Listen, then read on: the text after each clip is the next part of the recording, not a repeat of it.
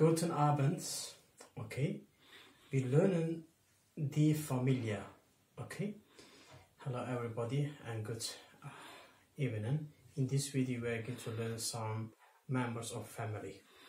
Erste der und die. Okay. Die Artikel.